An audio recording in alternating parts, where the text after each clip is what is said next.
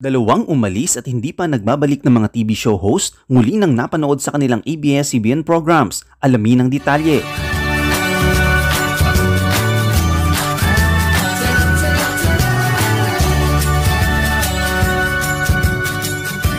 Welcome to busygram.net. Huwag kalimutang i-like, i-share, i-follow at i-subscribe ang busygram.net para maging updated ka sa mga latest happenings. May mga shoutouts din tayo kaya tutok lang hanggang sa huli. Simula ng pandemic at ABS-CBN shutdown ay marami nang ibinagbago ang isang kapamilya show na ito na kung saan ay binubuo ng mga kapamilya stars na pamilya na talaga ang turingan dahil sa tagal na nilang magkakasama sa kanilang programa na umeere araw-araw. Higit sa isang dekada o labindalawang taon ng eksakto ang nakakalipas ng umere ang It Showtime ng ABS-CBN na kung saan ay nananatiling buhay ang pagbibigay saya sa mga kapamilya fans lalo na sa panahon ng pandemic. Sa pagdaan ng mga taon ay marami na din ang napasaya ng It Showtime na kahit pa dumaan sa pagsubok ang ABS-CBN network ay patuloy na lumalaban ng It Showtime. May ilang umalis na din ng mga member na It Showtime family. Ang iba ay tuluyan ng umalis at tila hindi na nga makakabalik at ang ilan naman ay nagpahinga lamang dahil sa personal na kadahilanan.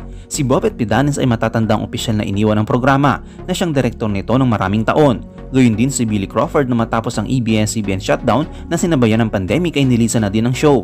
Marami ang nagsasabi na hindi na umano makakabalik ang dalawa kapag nagkataong magka-franchise muli ang ABS-CBN. Bukod sa kanila ay sina Ann Curtis at Jong Hilario naman ay umalis dahil sa personal na dahilan partikular ang pamilya. Si Jong Hilario ay nagpaalam sa It Showtime ng mga anak ang kanyang asawa at dumating ang unang baby nito. Si Ann Curtis naman ay parehong dahilan na kung saan ay nagsilang ng kanyang baby na si Baby Dahlia at inalagaan pa ng personal ang kanyang anak kapwa hindi pa nagbabalik sa It Showtime ang dalawa. Sa pagdiriwang ng 12th anniversary ng It Showtime ay tila nagkaroon ng reunion ang mga host ng noontime show na It Showtime nitong nagdaang biyernes matapos magpakita sina Ann Curtis at Jong Hilario sa isang segment ng show.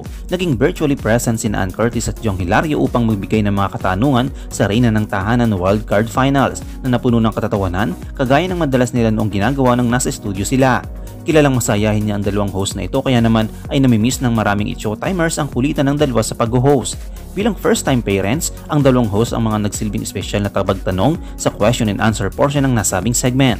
Sa kalagitnaan ng pag-uusap ay nagbiro pa si Vice Ganda at sinabi, ang special naman nila, lumalabas na lang sila sa mga ganito na lang, wildcard finals. Unang nagpakita si Jong Hilario na abala sa pag-aalaga sa kanyang baby na si Sarina sa Makati. Sa kanyang pahayag ng kumustahin siya ng mga host, sabi niya, busy pa sa pag-aalaga, busy sa pagtuturo ng mga nursery rhymes kay Sarina. Hindi naman nawala ang koneksyon ni na Vice Ganda at Jong Hilario dahil sa nakakatawang palitan ng mga biro katulad na lamang ng kwento tungkol sa nursery rhymes na itinuturo nito sa anak. Samantala ay gumising naman ng maaga si Ann Curtis upang makasama sa episode ng Noontime Show kahit nasa Paris, France siya. Sa kanyang pahayag, Miss na miss na miss na miss ko na talaga kayo, being with my family muna kaya naiyak din ako habang nanonood kanina. Nakakamiss yung tawanan lalo na yung kantahan. Nagpahayag naman si Vice Ganda kaugnay sa pagbabalik ni Ann Curtis sa It Showtime at ayon sa kanya, alam naman namin na malapit ka na bumalik. Hindi na lang na muna namin i-announce para di ka masyadong ma-pressure. Excited na ba kayo sa pagbabalik ni Ann Curtis sa It Showtime? Shoutout tayo kina Ian Lozano ng Dubai, kay Gloria Tortuga at kay Valeria Houseworth. I-comment mo lang ang inyong opinion sa comment section at huwag kalimutang i-like, i-follow, i-subscribe ang busygram.net para sa mga latest happenings.